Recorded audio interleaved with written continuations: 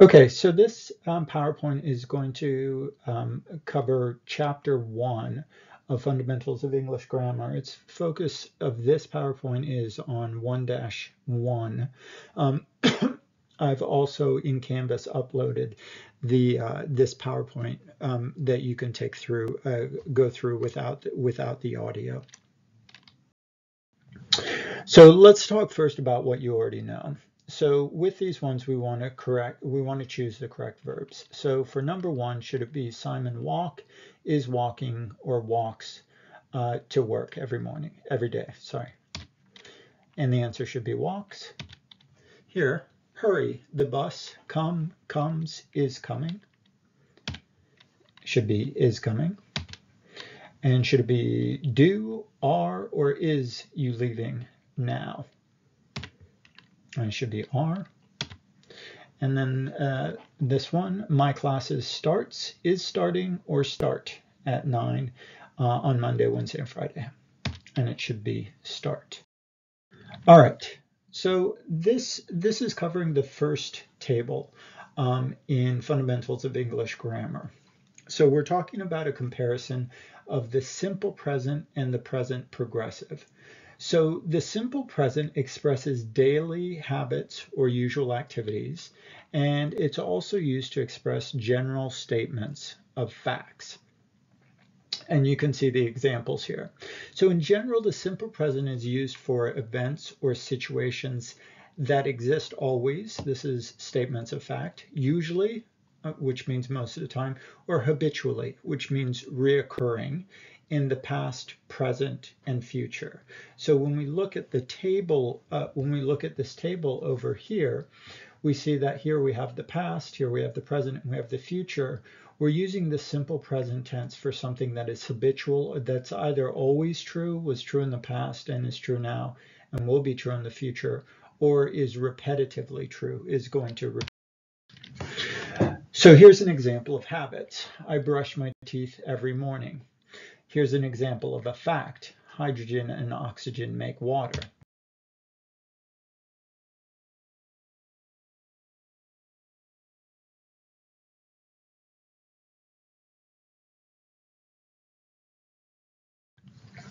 Here's an example of another habit. I cook breakfast every morning.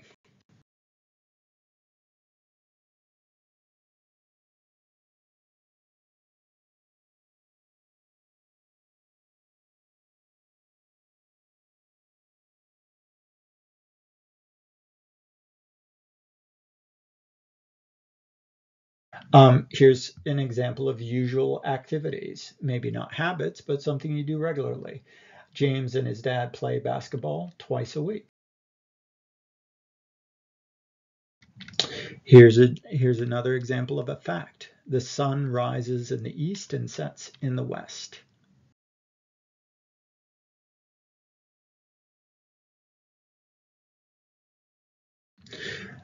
So to review, we use the simple present for habits, usual activities, and facts. So let's do this uh, quick activity for fun fact. All right, so we're not going to do, do this, uh, but we can go through and do some of these activities. Follow these ones.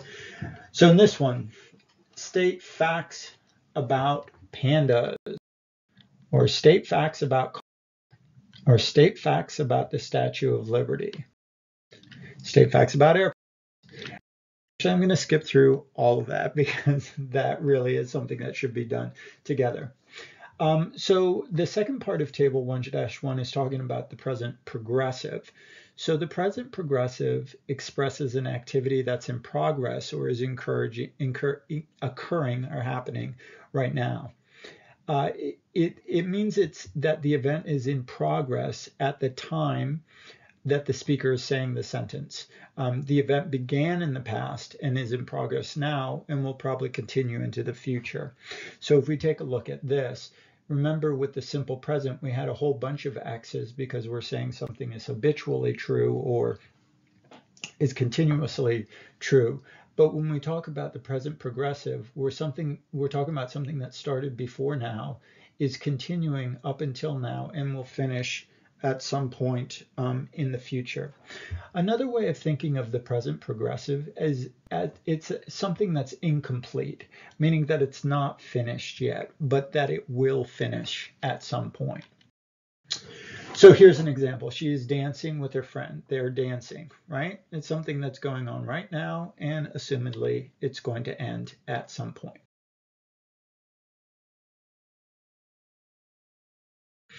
Um, the kids are playing upstairs, right? It's something that's going on right now, but will end at some point, hopefully before they break some.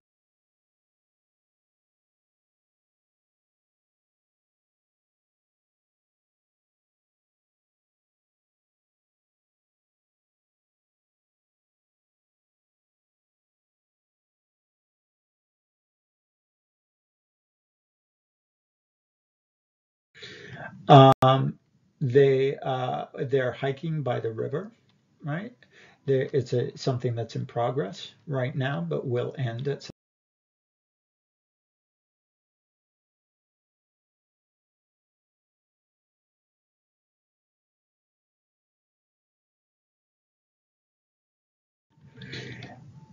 So all of these are examples of the present progressive being something that is happening right now. So in this one, you want to decide whether you should be using the simple present or the present progressive. So just as a review, the simple present is used for habitual activities or facts, right? Things that are always true. The present progressive is, is used for activities that are in progress, that started in the past, continue right now, and will finish at some point in the future. They're incomplete activities.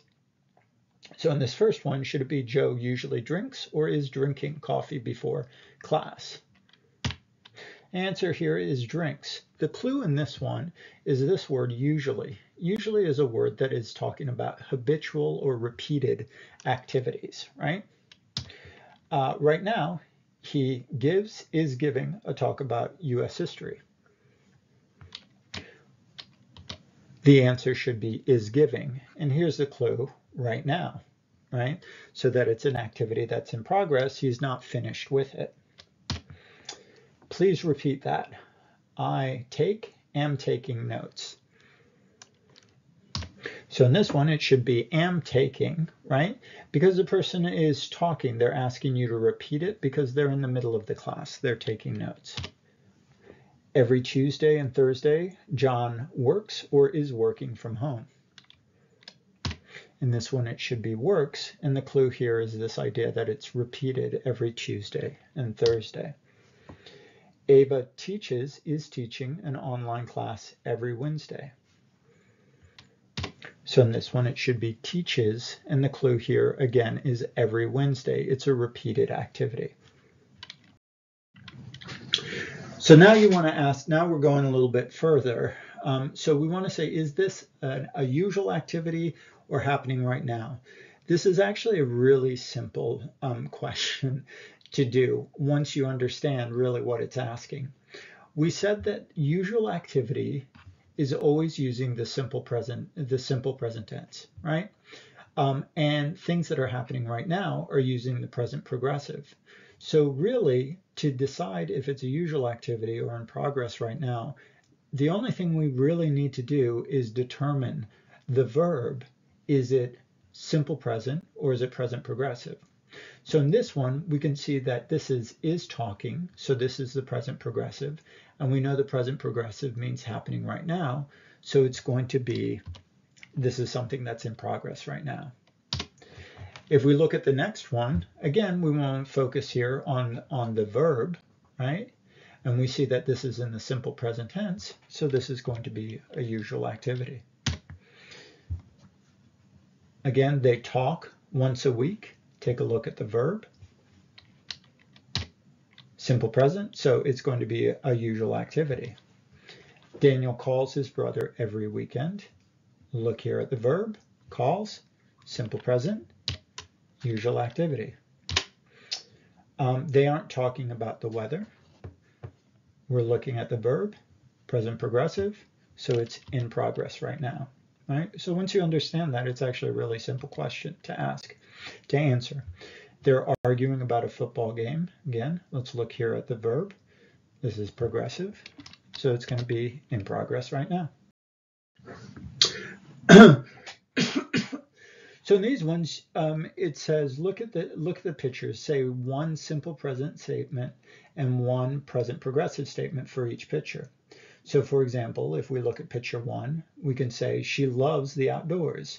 And what is she doing right now? She is climbing a mountain. Um, uh, if we look at the the next one right right here, we could say she uh, she loves the water. She's swimming in a pool. Um, in this one, we could say I can't read exactly what it says, but let's pretend this is a restaurant universe. Say she works at a restaurant and she is writing in a notebook. Um, over here, um, um, uh, he uh, he likes to dance. You could say he is dancing. Um, for this one, you could say, I don't know, we can make something up. Um, he uh, loves his friends, and you can say he's talking on the phone. Okay, so for more of this, go to the exercises in uh, chapter one and look at chart number one for help with this.